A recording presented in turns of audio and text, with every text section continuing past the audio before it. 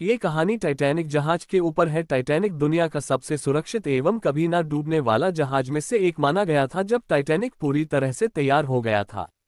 तब सारे वैज्ञानिक घोषित कर दिए थे कि इसे अब कहीं भी ले जाया जा सकता है। तब बहुत सारे लोग ने अपना अपना टिकट कटाया जहाज़ पर जाने के लिए। उसी में से एक व्यक्ति थे जिन्हें क्लाक नाम था। क्लाक एक किसान थे। वे टाइटैनिक पर सैर करने के लिए अपनी ज़िंदगी की सारी जमा पूंजी देकर अपने एवं अपने पाँच बेटों और पत्नी का टोटल सात टिकट बनाए। जब टाइटैनिक जहाज़ 10 अप्रैल 1912 को इंग्लैंड से अपनी प्रथम यात्रा करने वाला था, उसके ठीक पाँच दिन पहले क्लार्क के एक बेटे को उनके पालतू कुत्ता ने काट लिया। ये सब देखकर क्लार्क भी बहुत चिंता में थे कि ज़िंदगी का सारा जमा पूंजी टिकट में लगा दिया हूँ, टिकट रिफंडेबल भी नहीं है। अब क्लार्क की पत्नी बहुत चिंता होने लगी कि एक को कुटे ने काट लिया, पाँच दिन बाद टाइटैनिक पर सैर भी करना है, पर अपने बेटे को छोड़कर कैसे जाए?